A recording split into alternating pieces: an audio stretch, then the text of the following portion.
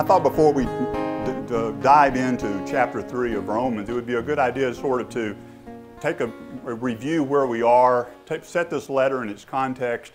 I'm kind of a knit one, purl two kind of teacher. I want to go back and see where we've been, where we are, and regroup a little bit. See who this letter was written to, why it was written, just a little brief overview.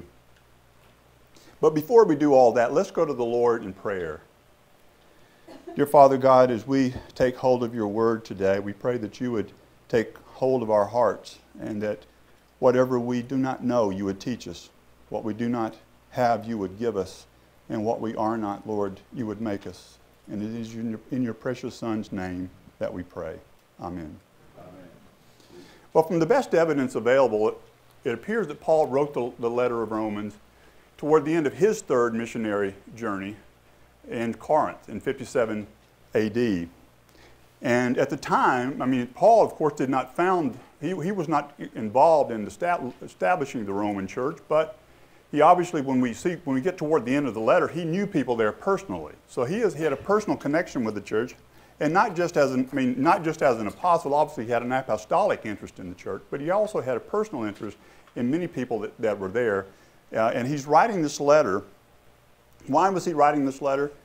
Well, although Romans does contain the, the most complete statement of Paul's theology, it does not appear that that was his purpose in writing the letter, to give a summary of his theology. For example, he doesn't deal with the doctrine of Christ in any complete way of the doctrine of who Christ is, or the doctrine of the church, or last things. Uh, so you'll have to go to other letters to find a more complete treatment of those issues. But if you look, and you're going to see this if you haven't seen it already as we work through Romans, that Paul is actually dealing, he, he obviously had some knowledge of what was going on in that church, and he's writing, it appears, writing to deal with particular issues that the Roman church was facing. And from, this, from those issues, from reading the letter, it appears that those issues concerned uh, both Jews and Gentiles. And these, a lot of these issues are Jew Gentile issues, which suggest two things. One, that there were both Jewish and Gentile Christians in the Roman church, which would make sense because it's, uh, it, it is the capital of the Roman Empire, and that certain tensions also existed between the Jews and the Gentiles in that church. So, what are some of these questions that Paul is dealing with in Romans? I'm, i think there are a number of them, and, but given our time constraints, I just want to look at the first question that we've already been dealing with over the last few weeks, and that is can one be made right with God by obeying the law? And that's, the, that's we've already been dealing with that now for three weeks, and now we're going to continue dealing with that and wind that up uh, today. That's the first section of Paul's letter that deals, it starts at one, chapter 1, verse 18, continues all the way through to chapter 3, verse 20. So we're about two thirds of the way uh, through that right now. Now, at the time Paul wrote this letter, I mean, he wrote this letter, he wrote it to Rome. Rome was a city of about a million people, which an ancient, for an ancient city, that's pretty huge, about a million people. And it stretched from the Roman Empire, of course, Rome was the capital of the Roman Empire. It stretched from what is today northern Iraq all the way to, what, to the British Isles, included, including all of Spain, France, northern Af- North Africa along the coast. As a, as a matter of fact, what we call today the Mediterranean Sea was really little more than a Roman lake. The name for the Mediterranean Sea in Latin is the, at that time was uh, Mare Nostrum, which means our sea, because it literally was a Roman lake. And as for religion, the Romans had many gods. In fact, even the emperor himself was considered a god. And Nero was the emperor at this time. He was, a 20, he was, 21, he was 20 years old, having been emperor for three years. And this is the same Nero who, a few years after Paul writes this letter, would burn Christians alive, would have them sewn up in animal skins and throw them to the lions. This is the same, that persecution had not uh, really revved up yet. That happened after Rome burned. This is the same Nero who supposedly fiddled while Rome burned. I'm not sure if that's true but uh, he certainly uh, ended a lot of Christian lives. Now, from a Christian perspective, the Romans were pagans. Obviously, if they believed in many gods, I look at it this way they may have been God full, but they were godless. I mean, that's what they were. It wasn't so much as they were, um, that Romans were immoral as it, were, as it was that they were amoral. You've heard the expression, what happens in Vegas stays in Vegas. Well, in the Roman Empire, what happens in Rome happened everywhere else in the empire, which is why Paul, especially east of Rome, which is why Paul seems to have been so familiar with the excesses of Roman society. You see it here in the, in the letter to the Romans, but you see it, you see Paul addressing the, the, the licentiousness of the Romans in other letters that he has written. Well, with that as background, I want to turn to uh, just a brief review of what we've covered so far. Paul first takes on the, uh, the Gentiles, the pagan Gentiles, sort of the worst of the worst. These are people who Paul has told us, although they knew God, they did not honor him as God. Choosing to be wise, they became fools and exchanged the glory of the immortal God for images resembling mortal man and birds and animals and creeping things. These are people who exchanged the truth about God for a lie and worshiped and served the creature rather than the creator. These are people who, men and women who change, exchange natural relations for those that are contrary to nature. These are people who are filled with all manner of unrighteousness. These are people who, although they know God's righteous decree that those who practice such things deserve death or deserve to die, they not only do them, but they give approval to those who practice them. Paul then moves on, so that's, that's the Gentiles. Not a, it's a, it's a rogue's gallery of unrighteousness, is what it amounts to. But Paul doesn't, Paul's an equal opportunity offender. He doesn't just give it to the, to the Gentiles, he then turns to the to the Jews. And it, I think verse 13 of, of chapter 2 of Romans really sums up all of chapter 2, really. He says, It is not the hearers of the law who are righteous before God, but the doers of the law who are righteous. I mean, the Jews were so proud of themselves. They had the law, they had been given the law, they thought that gave them special status. And I suspect, because Paul is addressing this in the context of a church, that even the Jews, Jewish Christians thought we're like super Christians. You ever been in one of those? Have you ever gone to a church for the first time and the people who were there when the church was founded think that there are two categories at least of people in the church the ones that have been there since the beginning and those that have just came? I remember when I first started practicing law, we had a we still had hard copy, we still had books. Most of our stuff now is online. I came across a form book in the library in which it was possible for you to sell your pew. You, you had title to your pew, and so if you wanted to, to sell your pew, if so you, you, know, even now, we, we people, I'm looking around the room here, don't take offense. Most, most of you, and I'm, I'm in there with you, I sit in the same place every week if I'm not preaching. So I know how that works, but imagine though if the Jews, eh, the Jews how they were with the law, they thought, well, we're, we're super, we're super Christians. We were super Jews and now we're super Christians. Paul says it is not the hearers of the law who are righteous before God, but the doers of the law. And he says, look, talk about the equal opportunity offender. Just think about this. Paul uses in chapter 2, he uses Gentiles who by nature do what the law requires because the law is written on their hearts to hold them up as a mirror to the Jews to say, look, they don't even have the, they don't even have the law. They didn't have the written, they don't have the Ten Commandments. They don't have the Mosaic law. And yet they, at least from time to time, will keep the law because it's written on their hearts. You, on the other hand, are hypocrites. You have the law, but you don't keep it, but you hold it as a standard for everyone else to follow. And then so he ends chapter 2 like this, having blasted the Jews as well as the Gentiles. He says, For no one is a Jew who is merely one outwardly nor is circumcision outward and physical, but a Jew is one inwardly, and circumcision is a matter of the heart, by the Spirit, not by the letter. His praise is not from man, but from God. Remember Jesus? Jesus would say, Don't pray openly, don't pray out in the street, don't make a show of your, of your worship because you've had your reward where?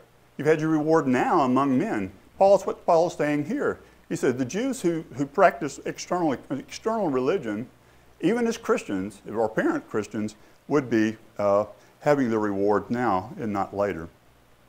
So, that is, uh, that's sort of an overview. Now we come to chapter 3. Y'all were thinking, well, I was never going to get there, right? Okay. Chapter 3 really breaks down into three parts verses 1 through 20, verses 21 through 26, and then verses 27 through 31. Let's take the long section first. Then, what advantage has the Jew? Or what is the value of circumcision? Much in every way. To begin with, the Jews were entrusted with the oracles of God. What if some were unfaithful? Does their faithlessness nullify the faithfulness of God? By no means. Let God be true, though everyone were a liar, as it is written, that you may be justified in your words and prevail when you are judged. But if our unrighteousness serves to show the righteousness of God, what shall we say? That God is unrighteous to inflict wrath on us? I speak in a human way. By no means. Or then how could God judge the world? But if through my lie God's truth abounds to his glory, why am I still being condemned as a sinner? And why not do evil that good may come, as some people slanderously charge us with saying? Their condemnation is just. What then? Are we Jews any better off? No, not at all. For we have already charged that all, both Jews and Greeks, are under sin, as it is written. None is righteous, no, not one. No one understands. No one seeks for God. All have turned aside. Together they have become worthless. No one does good, not even one. Their throat is an open grave. They use their tongues to deceive. The venom of asp is under their lips. Their mouth is full of curses and bitterness. Their feet are swift to shed blood. And their, in their paths are ruined and misery, and the way of peace they have not known. There is no fear of God before their eyes. Now, we know that what, who whatever the law says, it speaks to those who are under the law, so that every mouth may be stopped and the whole world may be held accountable to God. For by works of the law, no human being will be justified in his sight, since through the law comes knowledge of sin. I want to take a look at the two questions Paul asked here. He asked a question in the beginning of verse of chapter 3 verses 1 and 2 and then he asked another question in verse 9 let's take a look at that first question. And both of them are addressing the jews at least in part. He says then what advantage has the jew or what is the value of circumcision? And then he answers his question much in every way. To begin with the jews were entrusted with the oracles of god. Again what's the context he's just spent a whole chapter saying that how, how hypocritical and unrighteous the jews can be to hold up the law as a standard and then not follow it. That the law can't save you, can't save these people. But then he comes and he says, then what advantage has the Jew? Or what is the value of circumcision? Much in every way. To begin with, the Jews were entrusted with what? The oracles of God. And then he goes, and then look at verse 9 and look at the question he's, he's puts there. What then? Are we Jews any better off? No, not at all. For we have already charged that all, both Jews and Greeks, are under sin. So, on one hand, the Jews have an advantage, and on the other hand, they're no better off. Now, you know the Bible doesn't contradict itself, right?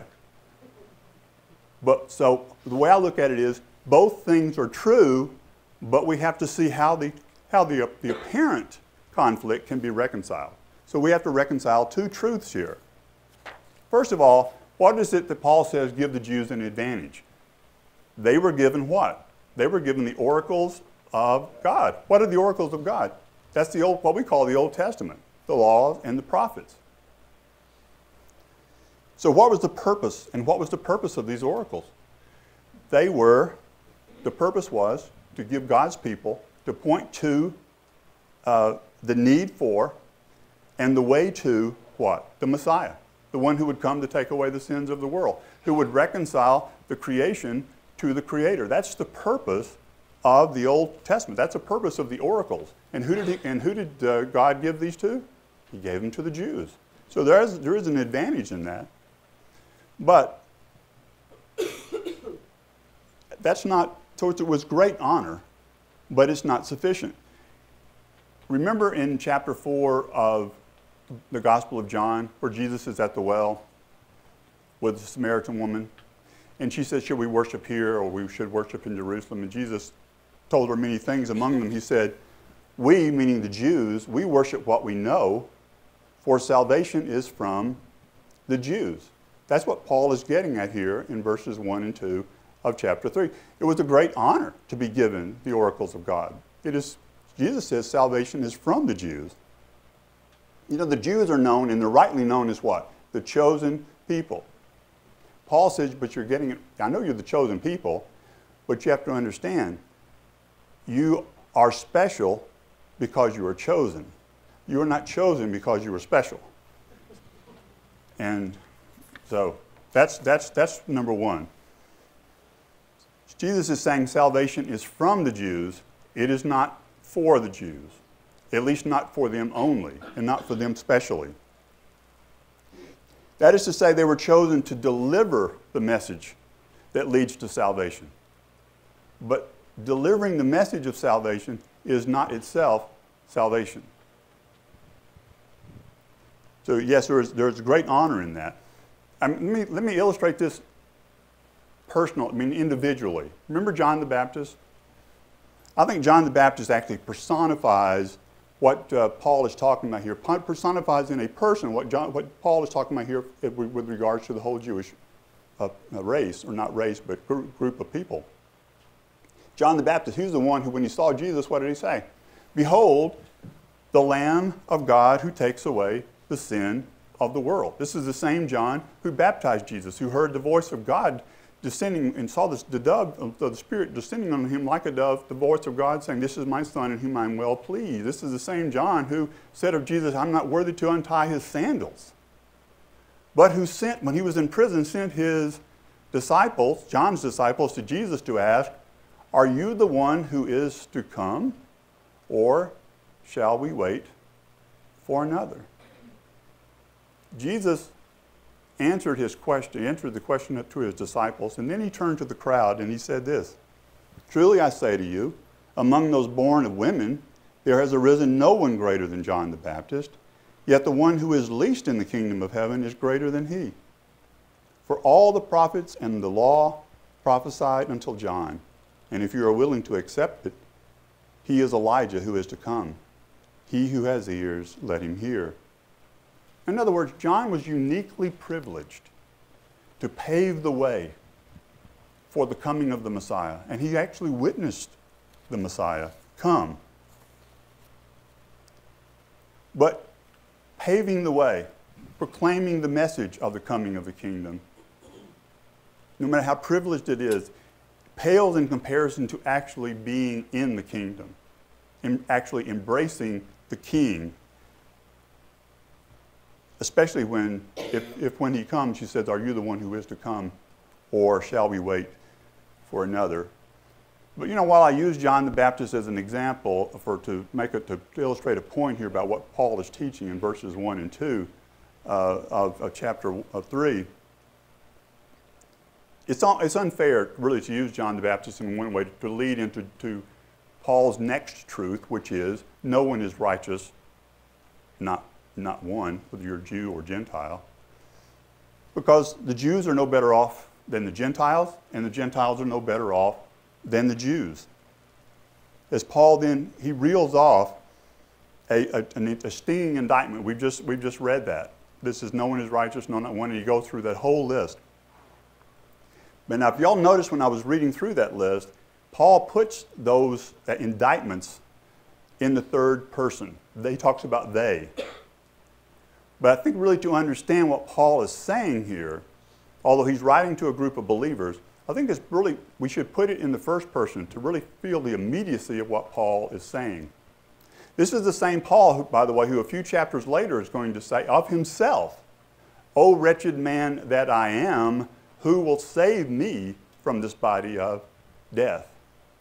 So I want to, us to take a look at this indictment that Paul gives the whole human race and put it in the first person. No one is, no one is righteous, no, not one. No one understands, no one seeks for God. All have turned aside. Together they have become worthless. No one does good, not even one. Our throat is an open grave. We use our tongues to deceive. The venom of asp is under our lips. Our mouth is full of curses and bitterness. Our feet are swift to shed blood. In our paths are ruin and misery, and the way of peace we have not known. There is no fear before God in our eyes. There's no fear of God before our eyes. It, it has a different ring to it when you put it in the first person, doesn't it? Now, I know some of you may be thinking, maybe all of you may be thinking, you think, wait a minute, I know I'm not perfect. I know I'm not perfect. I mean, I know I cut people off in traffic once in a while, and I may from time to time, on a bad day, say a mean thing or two about my neighbor, but come on, this list you've just read, venom of asp under our lips and all that stuff, mean, this list can't be about me. Well, consider what the prophet Isaiah says in chapter 64, verse 6. He says, We are all as an unclean thing, and all our righteous deeds, all our righteous deeds are as filthy rags, and we all do fade as a leaf, and our iniquities, like the wind, have taken us away. That's a King James Version. I usually use the ESV, but for that verse, King James Version has more of a, a ring to it. Filthy rags. Our righteous deeds are filthy rags, apart from Christ. So Paul puts it this way as he closes this, this uh, section. He says, Now we all know that whatever the law says, it speaks to those who are under the law, so that every mouth may be stopped, and the whole world may be held accountable to God. For by the works of the law, no human being will be justified in his sight, since through the law comes knowledge of sin. Verses 19 and 20 really summarize this whole section, bring it, brings it to a conclusion that started at chapter 1, verse 18. It concludes here that those that we know that whatever the law says, it speaks to those who are under the law so that every mouth may be stopped and the whole world may be held accountable to God. And wait a minute. The law and the whole world held account the whole the law and the whole world held accountable to God. I'm, wait a minute. The Gentiles didn't have the law, did they? They weren't given the law. So how can the law condemn the Gentiles? I think the answer really is pretty simple. The Jews had every advantage. They had a, they had they were in covenant relationship with God. They were given, if you, you may recall in, in uh, Exodus, God Himself spoke originally. He came down the mountain and spoke directly to them and gave them the Ten Commandments, and then He gave it to them on stone. I mean, they had every advantage. They had a covenantal relationship with God, and they had the law. What Paul is saying here is look, if the Jews who had every advantage couldn't keep the law, the Gentiles don't have a chance. So, for the last two chapters, then, building up to what we've just read, Paul has been taking us on a journey. He's been taking us on a journey that brings us to a unique place. And when I say us, I mean all of humanity. All of humanity that had lived up to that time and would live from through the end of time, to the second coming. He's taking them to, the, to a unique place. He's taking them to the foot of the cross. And what happened at the cross? And why did it have to happen? Well, we know Christ died there, but why did he have to die?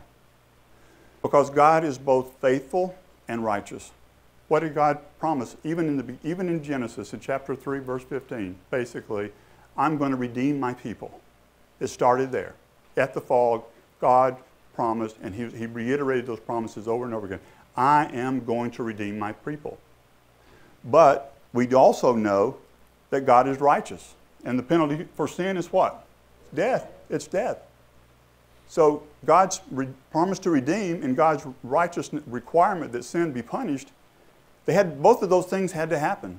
So at the cross, God's righteousness and God's promise of redemption met in the death of Jesus Christ. Paul put it this way But now the righteousness of God has been manifested apart from the law. Although the law and the prophets bear witness to it, the righteousness of God through faith in Jesus Christ for all who believe. For there is no distinction. For all have sinned and fall short of the glory of God. And we are justified and are justified by his grace as a gift through the redemption of Jesus, through the redemption of Jesus, whom God put forward as a propitiation by his blood to be received by faith. This was to show God's righteousness, because in his divine forbearance, he had passed over former sins. It was to show his righteousness at the present time, so that he might be just and the justifier of the one who has faith in Jesus. You could have 10 sermons on those verses alone. You'll know, you'll be happy to know I'm not going to do that. What I'm going to give you is the short version. It, it, doesn't cover everything, but I think it's a pretty good summary of what Paul is saying here. You'll find it in 2 Corinthians at uh, chapter 5, verse 21. What Paul is saying here about what Jesus, I said we've come, to a, we've come on a journey. Where did we come? We came to the foot of the cross. What happened there? And why did it have to happen? We find the answer in chapter 2 of Corinthians, I mean 2 Corinthians at chapter 5, verse 21. For our sake, he, meaning God the Father, made him, meaning Jesus, to be sin who knew no sin, so that in him, that is in Jesus, we might become the righteousness of God. Let me say that again. For our sake, he made him to be sin who knew no sin, that in him we might become the righteousness of God. How bad are your sins? How bad are my sins? Let me put it to you this way. If after Adam and Eve, only two people had lived, me and Jesus Christ, or one of you and Jesus Christ, Jesus, in order for me to be redeemed, or for you to be redeemed, Jesus would still have to go to the cross. So, how bad are my sins? How bad are your sins bad enough for Jesus to go to the cross and die for them? There's no other way to understand the gospel. Now, Paul has been teaching, what Paul is teaching here in chapter 3 of Romans, he teaches in many other places. The law condemns, but it cannot save. Only faith in Christ and his redeeming work can save us.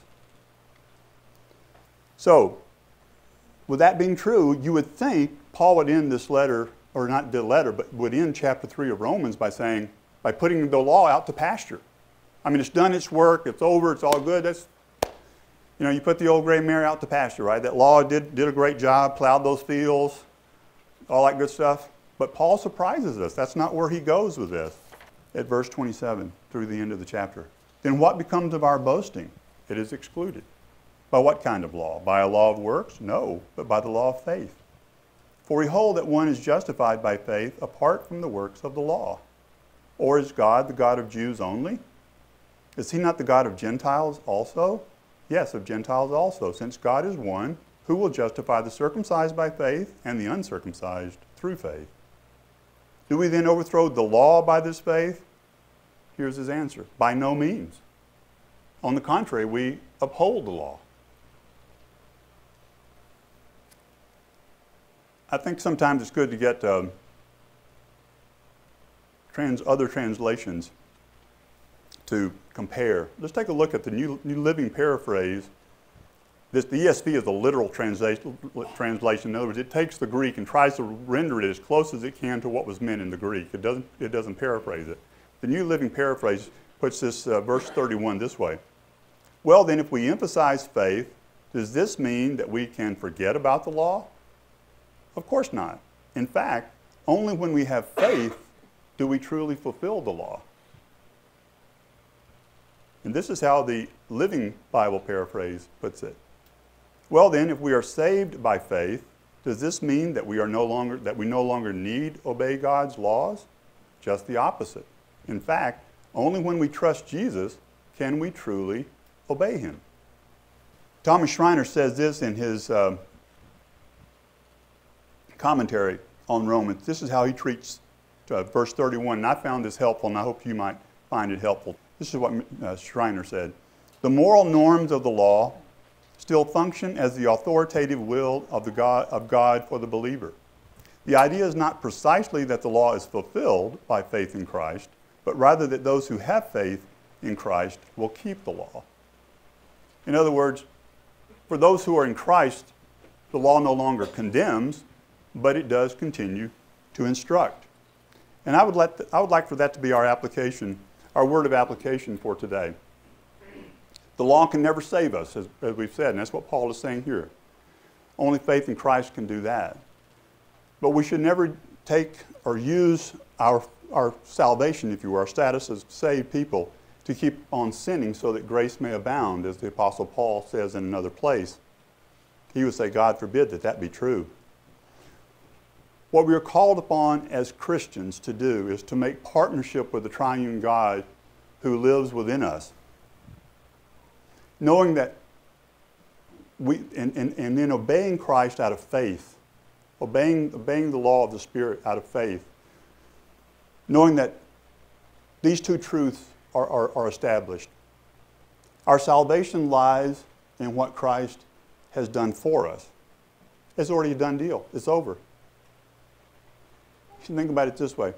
Isn't it wonderful to know that there's, if you're in Christ, there is nothing you can do to make him love you more or make him love you less. We can rest in knowing that we are saved in what Christ has already done for us. And we can rest and work with the Spirit in partnership with the Spirit for our sanctification because knowing that, that He is, continues to work in us to achieve that sanctification.